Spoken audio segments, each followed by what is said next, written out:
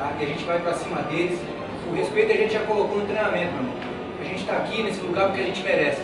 Então vamos atropelar, meu irmão. Dentro da nossa casa quem manda é a gente. E vai lá, faz o que você sabe, da melhor maneira possível, com interesse, com alegria, com amor a você, aos nossos companheiros e à sua família. Vai tudo certo.